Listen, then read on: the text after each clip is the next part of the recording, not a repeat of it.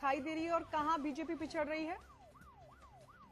वैसे मैं आपको बताना चाहूँगा यहाँ पर जो विधानसभा विधानसभाएँ जो आ रही है पाँच विधानसभा उसमें से फुलपुर जो जो है फुलपुर विधानसभा है वहाँ पर जो है वोटिंग प्रतिशत जो है सबसे ज़्यादा रहा।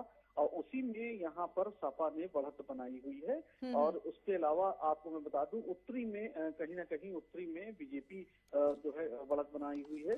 लेकिन ओवरऑल अगर जो है विधानसभा की बात की जाए तो उसमें तो सपा आगे सपा चल रही है। अभी बढ़त बनाई हुई है। चलिए रहिए रविंद्र आप हमारे साथ। हमारे संवाददाता गोरखपुर से हरेंद्र दुबे भी हमारे साथ जुड़ गए हैं। हरेंद्र अभी वहाँ कितने राउंड की हो चुकी है काउंटिंग और क्या अपडेट? देखिए पाँच विधानसभा की पाँच स्थानों पर गणना की जा रही है। लोकसभा में पाँच विधानसभा आते हैं पाँचों को अलग अलग कर दिया गया है दो किलोमीटर के दायरे में पाँचों गणनाएँ हो रही हैं दौड़ करके कैलकुलेट किया जा रहा है। आपको बता दें कि हर विधानसभा में तीसरे राउंड की गणना हो चुकी है और तीसरे राउंड में बीजेपी पीछे पिपराइच विधानसभा में चल रही है। कैंपरगंज विधानसभा में बीजेपी पीछे चल रही है। और शाहजहां और गोरखपुर ग्रामीण और गोरखपुर शहर में बीजेपी आगे चल रही है। ये तो तीसरे राउंड का रुझान है। अभी रुझान और देखने को मिलेगा।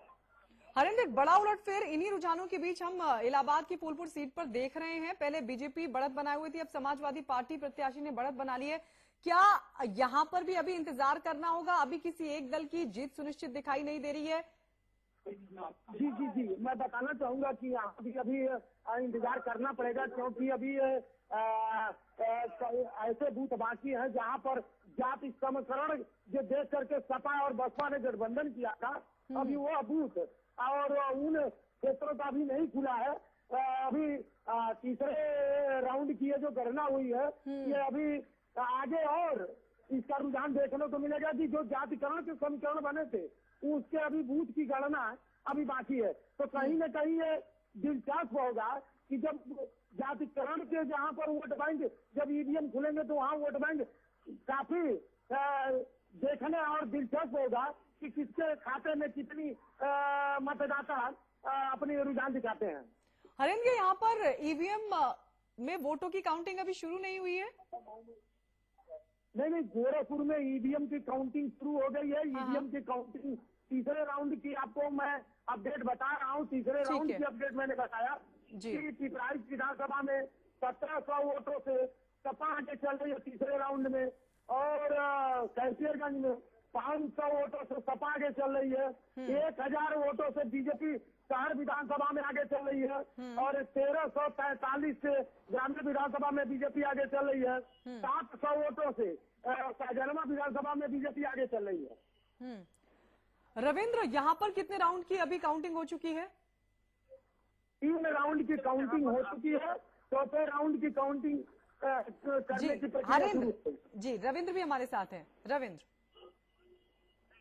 राज्य देखिए अभी यहाँ पर जो है अगर विधानसभाओं की बात की जाए तो सभी विधानसभाओं में करीबन कुछ जो है तीन विधानसभाओं में तीन राउंड की काउंटिंग हो चुकी है। और अगर हम तीन विधानसभाओं पर अभी केवल दो राउंड ही काउंटिंग हुई है और हालाँकि ये है कि अभी जो पूरा ओवरऑल अगर विधानसभाओं की बात की जाए तो उसमें से अभी केवल पहले ही राउंड की सीट निकल के आई है और पूरे राउंड की केवल एक ही सीट अभी निकल के आई है, जिसमें सपा बढ़त बनाए हुए इन रुझानों से रविंद्र क्या लग रहा है कि दोनों ही पार्टियों के बीच बेहद कांटे की टक्कर है?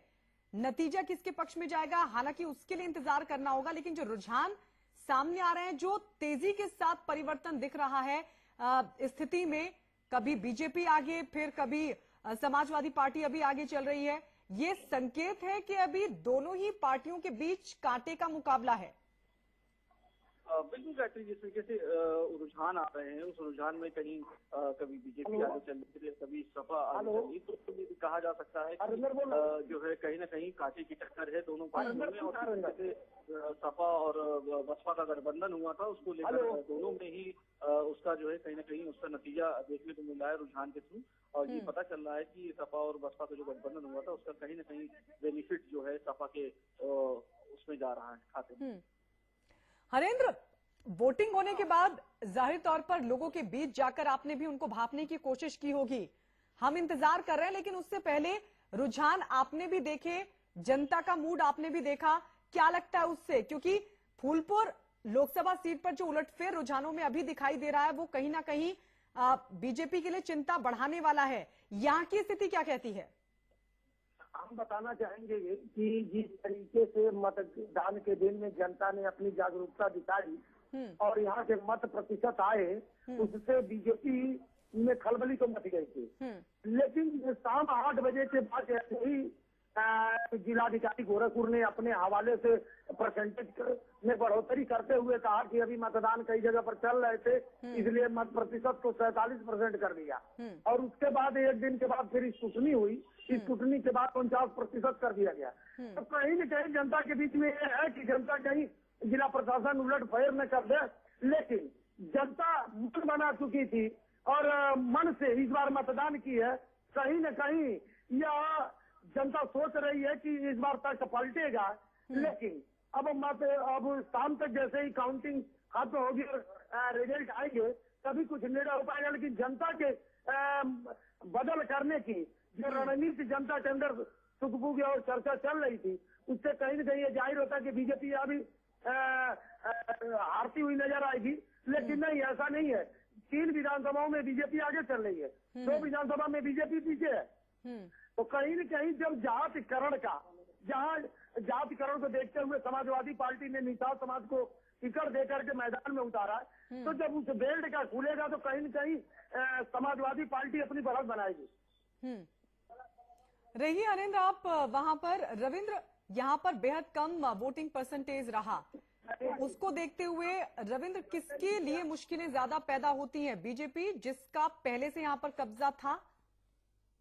या फिर विरोधी पार्टियाँ, जो साथ आए बीजेपी को रोकने के लिए, किसके लिए खतरे की घंटी? भोजपुर में कम रहा है। उसका कहीं ना कहीं खामियाजा बीजेपी को भुगतना पड़ेगा। हो सकता है ये भी कि जैसे जैसे वोटिंग परसेंटेज रहा, कम तो उसको लेकर जो है इस समय जो रुझान आ रहे हैं उसका देखने को मिल रहा है जिस तरीके से सपा आगे चल रही है। हालाँकि तीन विधानसभाओं में बीजेपी अभी आगे है लेकिन जो ओवरऑल विधानसभाओं की बात की जाए तो उसमें सपा ही आगे चल रही है। हालाँकि जिस तरीके से रुझान आ रहे हैं उससे ये लग रहा है कि कहीं ना कहीं बीजेपी को नुकसान हो सकता है या नुकसान अभी के रुझान को देखते हुए माना जा रहा है कि अभी बीजेपी नुकसान में है जिस वोटिंग परसेंटेज जो कम रहा है। हालाँकि अगर विधानसभा की बात की जाए तो विधानसभा में सोनपुर विधानसभा में परसेंटेज सबसे ज़्यादा रहा वोटिंग का और पापामऊ में परसेंटेज सबसे ज़्यादा रहा वोटिंग का। लेकिन अगर हम शहर की बात करते हैं तो शहर पश्चिमी में और शहर जो है उत्तरी में परसेंटेज शहर उत्तरी में सबसे कम परसेंटेज वोटिंग हुई है। हालाँकि पश्चिमी विधानसभा में ठीक ठाक परसेंटेज से वोटिंग हुई थी लेकिन उसका जो परसेंटेज वोटिंग परसेंटेज का खामियाजा हो सकता है बीजेपी को बीजेपी को भुगतना पड़ेगा। चलिए शुक्रिया रविंद्र और हरेंद्र आप दोनों का बहुत बहुत शुक्रिया हमारे साथ जुड़ने के लिए। आप लगातार वहाँ पर बने रहिए अपडेट के लिए हम फ़ौरन आपके पास आएँगे। लेकिन इस बीच बता दें कि समाचार प्लस पर बीजेपी के प्रवक्ता चंद्रमोहन ने क्या कुछ कहा? गोरखपुर फूलपुर उपचुनाव पर बीजेपी के प्रवक्ता बोले कहा कि दोनों जगह बीजेपी की जीत होगी। हमारी सरकार बेहतर काम कर रही है। हमारे नेतृत्व पर जनता को भरोसा है। ये बीजेपी के प्रवक्ता चंद्रमोहन का बयान। सुनिए क्या कहा उन्होंने। गोरखपुर सीट के लिए मतगणना का कार्य प्रारंभ हो चुका है। इस वक्त मेरे साथ बीजेपी प्रवक्ता चंद्रमोहन जी हैं। ये माना जा रहा है क्योंकि बहुत सारी चीज़ें कही जा रही है और कहा जा रहा है कि अगर भारतीय जनता पार्टी को अपेक्षित सफलता नहीं मिलती है तो जो एक गठबंधन की धुंधली सी तस्वीर पहले से देखी जा रही है वो तस्वीर बिल्कुल साफ़ हो जाएगी। नहीं नहीं देखिए सफलता भारतीय जनता पार्टी को ही मिलेगी क्योंकि भारतीय जनता पार्टी के कार्यकर्ताओं ने परिश्रम किया है डॉक्टर महेंद्रनाथ पांडे जी के नेतृत्व में। भारतीय जनता पार्टी को सफलता इसलिए मिलेगी क्योंकि हमारे पास सन्यासी नेतृत्व है। अ, योगी जी के नेतृत्व में योगी जी के रूप में एक सन्यासी नेतृत्व है जो उत्तर प्रदेश को बदलना चाहते हैं। उत्तर प्रदेश में एक मुद्दों की पॉलिटिक्स करना चाहते हैं एक विकास की पॉलिटिक्स करना चाहते हैं जहाँ हर हर घर तक बिजली पहुँचे जहाँ हर हाथ को काम हो और जहाँ हर और हर शहर में एक अपना हर one district uh, one product के रूप में एक आइडेंटिटी बने तो हम बदलाव की राजनीति कर रहे हैं। और बदलाव की राजनीति में उत्तर प्रदेश की जनता सन्यासी के नेतृत्व को स्वीकार करने वाली जनता है। उत्तर प्रदेश की जनता मानने वाली जनता है उत्तर प्रदेश की जो हमारी सम्मानी जनता है वो जातिवाद की राजनीति से आज जा चुकी है और उन्होंने उत्तर प्रदेश की जनता ने 2014 के लोकसभा चुनाव 2017 के विधानसभा चुनाव 2017 के निकाय चुनाव मैं ये सिद्ध करके दिखाया अभी सिकंदरा का उपचुनाव हुआ उसमें भी ये सिद्ध करके दिखाया कि उत्तर प्रदेश को अपना नेतृत्व मिल गया एक जन नेता उत्तर प्रदेश में मिल गए और एक भारतीय जनता पार्टी की नीतियाँ मिल गई हैं सबका साथ सबका विकास मिल गया है। तो अ, चूँकि मतगणना का काम शुरू हो चुका है और जैसा कि पहले भी भारतीय जनता पार्टी की तरफ़ से ये दावा किया जाता रहा है कि दोनों उपचुनाव में भी भारतीय जनता पार्टी की जीत होगी। वैसे में बीजेपी प्रवक्ता का यही कहना है कि जिस तरीके से पिछले एक सालों में प्रदेश की सरकार ने काम किया है, वैसे में लोगों का भरोसा जगा है और इस चुनाव में भी जो लोग हैं, वो बीजेपी की तरफ़ ही जाएँगे। कैमरामैन मिनाज के साथ अविनाश सिंह, समाचार प्लस लखनऊ। तो बीजेपी के प्रवक्ता डॉक्टर चंद्रमोहन जीत का दावा करते हुए, लेकिन उधर रुझान जो है, वो कहीं ना कहीं बीजेपी के लिए मुश्किलें दिखाते हुए नज़र आ रहे हैं, क्योंकि गोरखपुर में तो बीजेपी आगे चल रही है। हालाँकि इस रुझान में भी परिवर्तन हो सकता है, क्योंकि अभी कई राउंड की काउंटिंग बाकी है। वहीं फूलपुर उपचुनाव की बात की जाए, फूलपुर लोकसभा सीट की बात की जाए तो वहाँ पर बीजेपी के लिए मुश्किल खड़ी होती हुई साफ़ तौर पर दिखाई दे रही है, क्योंकि वहाँ बीजेपी जो थोड़ी देर पहले तक बढ़त बनाए हुए थे। अब वहाँ पर बीजेपी पीछे चल रही है। समाजवादी पार्टी का प्रत्याशी वहाँ आगे चल रहा है। डिस्कशन के लिए सभी खास मेहमान हमारे साथ जुड़ चुके हैं। हमारे साथ कांग्रेस के नेता आसिफ रिजवी जुड़ चुके हैं। इसके अलावा समाजवादी पार्टी के नेता तारिक अहमद हमारे साथ हैं। बीजेपी नेता अनिता अग्रवाल भी हमारे साथ जुड़ चुकी हैं। इसके अलावा हमारे संवाददाता अविनाश भी हमारे साथ लाइव बने हुए हैं। अनिता अग्रवाल जी, जीत का दावा तो ठीक है, लेकिन रुझान कहीं कहीं ना कहीं आपको निराश तो ज़रूर कर रहे होंगे। नहीं ऐसा नहीं है गैती जी रुझान कोई निराश नहीं कर रहे। जनता का जो भी है जनादेश होगा हमको सर माथे पे कबूल है क्योंकि हम तो जनता की हर चीज़ को मानते हैं और जनता के साथ हैं। इसलिए हमें जनता का हमें पूर्ण पूर्ण विश्वास है जनता पे कि हमारे दोनों सीटें जो है भारतीय जनता पार्टी जीतेगी। हम्म, इतना संघर्ष क्यों करना पड़ा इन दोनों सीटों पर जो सीटें आपकी पहले से थी? भारतीय जनता पार्टी शुरू से ही हर जगह संघर्ष करती है ऐसा नहीं है। सबसे बड़ी बात है कि हम लोग जनता का कार्य करते हैं जनता के बीच में रहते हैं और कार्यकर्ताओं की पार्टी है ना कि किसी एक परिवारवाद की पार्टी है ना किसी एक नेता की पार्टी है। और जो जनता के बीच में रहता है वो जनता के साथ रहता है तो लगता है कि जो वो संघर्ष कर रहा है। और संघर्ष संघर्ष करना जनता के बीच में रहकर ये अलग अच्छी बात है और जनता उससे रूबरू होती है और कार्यकर्ता से उसका आमने सामने की पहचान होती है इसलिए ऐसा कहना कि हम संघर्ष करके आगे आए।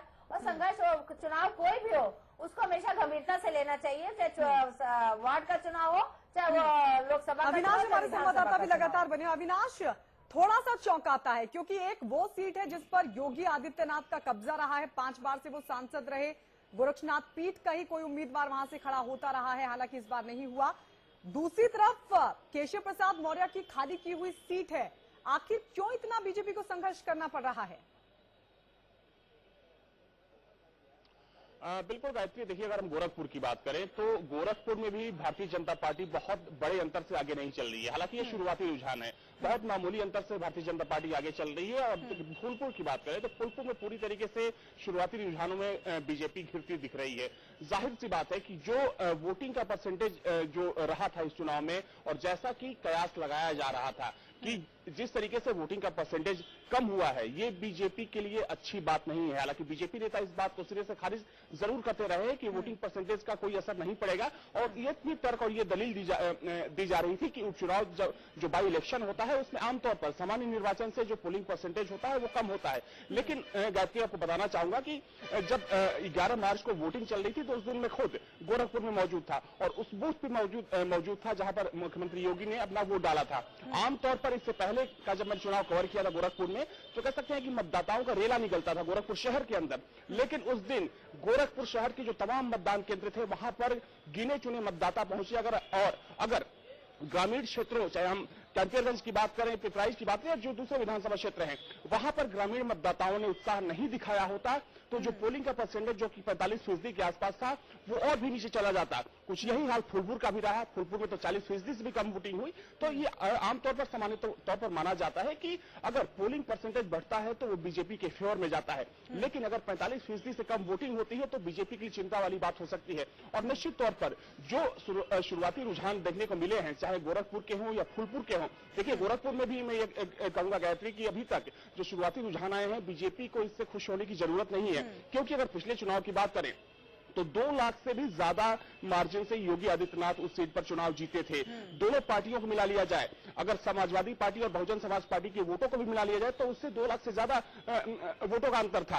तो कह सकते हैं कि ये शुरुआती रुझान है। हालाँकि अभी कई राउंड की मतगणना जारी है लेकिन जिस तरीके से फूलपुर में भारतीय जनता पिछड़ती भारतीय जनता पार्टी पिछड़ती हुई दिख रही है यानी अविनाश एक बड़ा फैक्टर रहा है बड़ा फैक्टर रहा है कि जनता का वोटिंग के लिए अपनी सहभागिता ना निभाना इस नतीजों पर। एक बड़ा प्रभाव डालता हुआ नज़र आ रहा है, लेकिन समझ नहीं आता। विनाश की आखिर जनता बूथ तक पहुँची क्यों नहीं? योगी सरकार की, योगी सरकार की नीतियाँ पसंद नहीं आई या सपा बसपा का साथ पसंद नहीं आया? देखिए अगर हम सिर्फ़ गोरखपुर की बात करें गायत्री तो दो चीज़ें हैं। गोरखपुर में जो शहरी मतदाता थे इस बार उन्होंने वो उत्साह नहीं दिखाया जो इससे पहले के अ, में वो दिखाते रहे हैं। जिस मतदान केंद्र पर उस दिन मैं मौजूद था वहाँ तमाम जो मठ से जुड़े हुए लोग थे जो मठ से जुड़े हुए संत थे वो वहाँ पर पहुँचे। मैंने उनसे ये जानना चाहा कि आखिर इस बार मतदाताओं में इतना कम उत्साह देखने को क्यों मिल रहा है? कैमरे पर आपको बताना चाहूँगा गायत्री की कैमरे पर दो से तीन ऐसे संत थे जो कि मठ से जुड़े हुए थे गोरक्षनाथ पीठ से जुड़े हुए जुड़े हुए थे उनका साफ़ तौर पर यही कहना था कि एक परंपरा रही है कि यहाँ का जो प्रतिनिधि होता था वो मठ से चुनकर जाता था चाहे अवैधनाथ की बात करें या फिर उसके बाद उनके जो उत्तराधिकारी थे योगी आदित्यनाथ की बात करें। लेकिन इस बार बीजेपी का जो शीर्ष नेतृत्व था उसने मठ से किसी आदमी को उम्मीदवार न बनाकर बाहर के एक ऐसे आदमी को उम्मीदवार बनाया जो कि मठ से नहीं था। तो वो भी एक फैक्टर था जिसे कि भारतीय जनता पार्टी खारिज नहीं कर सकती है। दूसरी बात एक साल का वक्त होने को है। और जिस तरीके से जो दावे किए जाते रहे भारतीय जनता पार्टी की तरफ़ से कि विकास की हमने गंगा बहाई है या जो तमाम योजनाएँ शुरू की गई है उसका सीधा लाभ जनता को मिल रहा है। तो ये तमाम चीज़ें हैं कहीं जिसको लेकर ये कहा जा सकता है कि कहीं ना कहीं जनता के मन में थोड़ी सी शंका तो ज़रूर है। और वो शंका उस दिन मतदान केंद्रों पर देखी कि शहरी मतदाता कह सकते हैं कि शहरी मतदाताओं में जो उत्साह देखने को मिलना चाहिए था वो उत्साह देखने को नहीं मिला। फूलपुर की बात करें तो फूलपुर भी हाई प्रोफ़ाइल सीट है उप मुख्यमंत्री की सीट है केशव प्रसाद मौर्य की। उससे पहले भी पंडित जवाहरलाल नेहरू जैसे कद्दावर जो देश के प्रथम प्रधानमंत्री थे वो वहाँ से चुनाव लड़ चुके थे। तो वहाँ भी अगर बात करें वहाँ के भी ग्रामीण अंचलों में या ग्रामीण इलाकों में कह सकते हैं कि वोटिंग का परसेंटेज थोड़ा सा सही था। लेकिन प्रॉपर फूलपुर की बात करें तो वहाँ भी कुछ कमोबेश स्थिति गोरखपुर शहर जैसा था। और मैं बार बार कह रहा हूँ कि ये वो परिस्थिति है वो स्थिति है जो कि बीजेपी के लिए चिंता की बात साबित हो सकती है। बिल्कुल। हमारे साथ वरिष्ठ पत्रकार प्रमोद गोस्वामी भी जुड़ गए हैं। प्रमोद जी आपके पास आना चाहूँगी। रुझान जो सामने आए हैं उस पर आपका रिएक्शन क्या है? कितनी बड़ी मुश्किलें बीजेपी के लिए साबित हो सकती है? गायत्री जी देखिए ये लोकसभा का चुनाव है। अभी जहाँ तक मैं समझता हूँ शायद तीन साढ़े तीन राउंड की मतदाताओं की गिनती हो पाई है। तो ऐसे में अभी कोई ये आकलन कर पाना कि ये कौन सीट गठबंधन निकालेगी या भाजपा निकालेगी मैं समझता हूँ कुछ जल्दी जल्दबाजी हो जाएगी। लेकिन हाँ अभी आपके जो संवाददाता ये कह रहे थे अविनाश जी शायद ये बात सही है गोरखपुर के परिप्रेक्ष्य में भी और फूलपुर के में भी। फूलपुर में जिस ढंग से जो सपा बसपा का गठबंधन है वो वहाँ प्रभावी है। क्योंकि वहाँ वहाँ पर पटेलों मुस्लिम और ब्राह्मण बोर्ड भी वहाँ है ठीक ठाक लेकिन जो वहाँ शहरी सबसे ज़्यादा सैतीस पॉइंट समथिंग फूलपुर में मतदान हुआ है। और ये एक उप मुख्यमंत्री के लिए प्रतिष्ठा की भाजपा के लिए प्रतिष्ठा की सीट है। और वहाँ पर तमाम प्रयासों के पूरा मंत्रिमंडल लगा रहा और मौर्य जी तो वहाँ पर जो कैबिनेट मंत्री हैं वो तो वहाँ पूरे लाव लश्कर के साथ बराबर चुनाव भर वही रहे हैं। तो ऐसी स्थिति में अगर भारतीय जनता पार्टी मतदाताओं को भी बाहर नहीं ला पाई तो शायद ये मैं समझता हूँ कि ये भारतीय जनता पार्टी के लिए चिंता का विषय है और जिस ढंग से बसपा और सपा का गठबंधन वहाँ हुआ है वो गठबंधन मुझे लगता है कि वो एक बढ़त बनाए हुए है।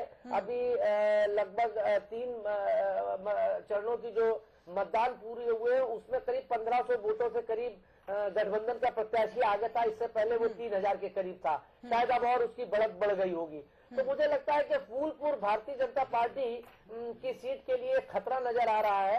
और जैसा कि अभी अविनाश ने ये बात कही कि गोरखपुर में ये बात बिल्कुल सच है कि वहाँ का भारतीय जनता पार्टी, गठबंधन वो अपनी जगह पर है, लेकिन पीठ का वहाँ बड़ा महत्व है। वहाँ दलीय आधार पर मतदान कम, पीठ के आधार पर मतदान, क्योंकि पीठ से उसका, वहाँ के मतदाताओं का, वहाँ के स्थानीय लोगों का लगाव कुछ ज़्यादा है। तो वो आप बीजेपी जीतेगी ये सपा, बसपा, माकपा, भाकपा, कांग्रेस का नापाक गठबंधन, जो नीति सिद्धांत पे ना होकर जाति संप्रदाय, क्षेत्रीयता और साथ साथ जिसको कहते हैं अवसरवादिता पर टिका हुआ है।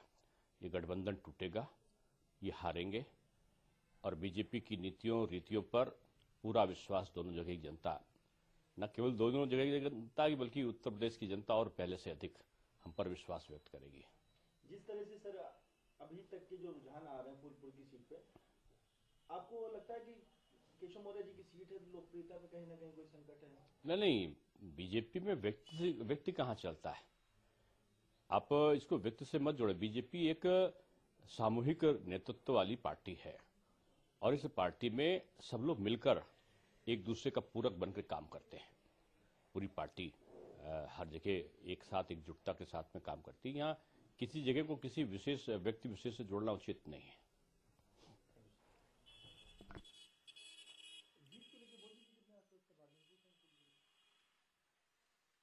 सीट को व्यक्ति विशेष से ना जोड़ें, केशव प्रसाद मौर्य की लोकप्रियता से ना जोड़ें, क्योंकि व्यक्ति नहीं, बल्कि पूरी पार्टी काम करती है। लेकिन सवाल फिर यह भी खड़ा होता है कि लहर की बात होती तो मोदी लहर की बात की जाती है और यहाँ पर व्यक्ति विशेष नहीं। और इस बीच एक बड़ी खबर आपको बताते पूर्व लोकसभा उपचुनाव में सपा की बढ़त कम हो गई है। दूसरे राउंड में समाजवादी पार्टी की बढ़त हुई है कम। ये इस वक्त की बड़ी खबर आपको बता रहे हैं 150 वोटों से आगे चल रहे हैं। सपा प्रत्याशी नागेंद्र पटेल, लेकिन ये जो बढ़त है, वो अब थोड़ी सी कम होती हुई दिखाई दी है। फूलपुर लोकसभा उपचुनाव में सपा की बढ़त हुई है कम। इस वक्त ये बड़ी खबर पल पल का अपडेट हम आपको बता रहे हैं। दूसरे राउंड में समाजवादी पार्टी की बढ़त कम हुई है। पहले थोड़े ज़्यादा वोटों से आगे चल रही थी समाजवादी पार्टी, लेकिन अब ये बढ़त थोड़ी सी कम हुई है। सभी खास मेहमान हमारे साथ लगातार बने हुए हैं। प्रमोद जी, रुझान की बात दरअसल मैं इसलिए कह रही थी क्योंकि गोरखपुर की भी अगर हम बात करें तो दो लाख से ज़्यादा अंतर से वो सीट जीती गई थी योगी आदित्यनाथ की तरफ़ से, लेकिन अभी रुझान में भी सपा और बीजेपी के बीच ज़्यादा अंतर नहीं दिख रहा है। मैं मैं वही गायत्री जी कह रहा हूँ कि ये फूलपुर के और गोरखपुर के दोनों चुनाव मुझे लगता है कि कई गवर्नमेंट की जो एंटी कन्वेंसी है वो उसका भी एक प्रभाव है। और लगता है कि जिस ढंग से गोरखपुर में मात्र शायद सैतालीस पॉइंट समथिंग हुआ है और जबकि फूलपुर में तो मात्र सैतीस परसेंट मतदान हुआ है। तो इसलिए मुझे लगता है कि ये सरकार के क्रियाकलापों के प्रति उसका असंतोष भी कहा जा सकता है। बाकी चुनाव परिणाम कुछ भी हो भले ही भाजपा दोनों सीटें जीत जाए या गठबंधन दोनों सीटें जीत जाए लेकिन राजनीतिक दलों के प्रति लोगों की जो एक जुड़ाव है वो कम हो रहा है। ये और भी चिंता का विषय है क्योंकि इतने तमाम प्रयासों के बावजूद अगर मतदान इतना गिर गया है आप अगर देख ले अभी बिहार के और वहाँ के देख ले वहाँ मतदान में इतना प्रतिशत कम नहीं हुआ है। ये एक चिंता का विषय है और अगर फूलपुर का चुनाव ये गठबंधन ठीक है। सर एक बात सर एक छोटा सा ब्रेक। लेना। ब्रेक के बाद तारिक जी के पास आएँगे आसिफ के पास भी आएँगे इस पूरे मामले को लेकर लेकिन एक छोटा सा ब्रेक हम ले रहे हैं। फ़ौरन लौट रहे हैं। आप बने रहिए हमारे साथ।